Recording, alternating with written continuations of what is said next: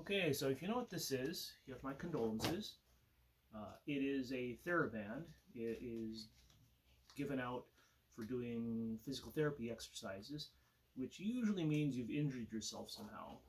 Now, this is actually a, very short piece because usually uh, they're probably at least, I, I want to say, five, four or five feet long.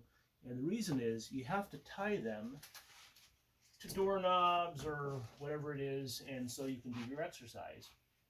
Um, I figured out a way to make this much more convenient, much more useful, and that is to tie it to one of these silicone rubber bracelets you find all over the place.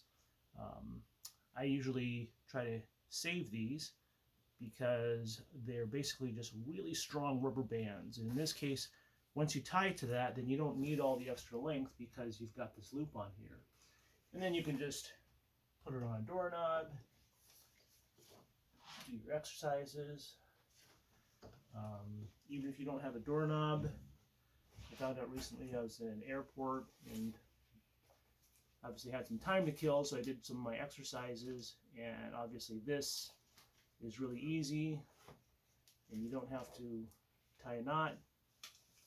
That allows this to basically pack up in a, in a small pocket or something like that because um, it's so much shorter, a lot easier to uh, to keep. In fact, you can do this and roll it up like so, and then kind of tuck it tuck it inside there. That keeps it pretty pretty neat. If you, if you twist it back on itself, there you have it. Anyways, thanks for watching.